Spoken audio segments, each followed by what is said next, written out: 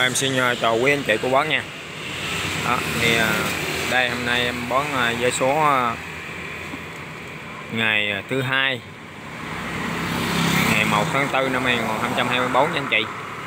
Rồi số tấm lam đầu tiên là Phú Yên nè. Rồi còn này thừa thiên quế thì 20 tờ để em chia ra này do số ít quá.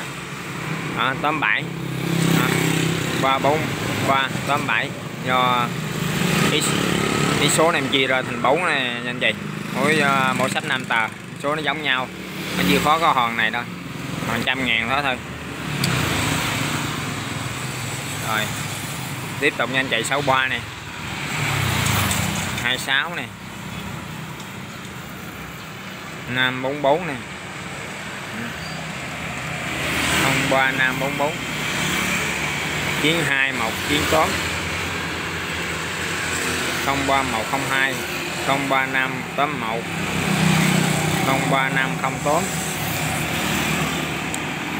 03581 03508 34157 79070 03115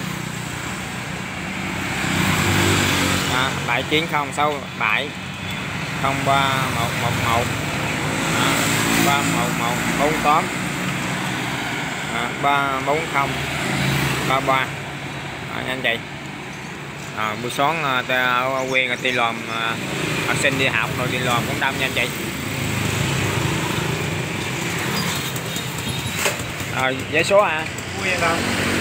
Phú Yên Phú Yên. Đây đây đây đây. Phú Yên đây. Coi hứa lái tờ nghiên cứu hứa lái tờ à.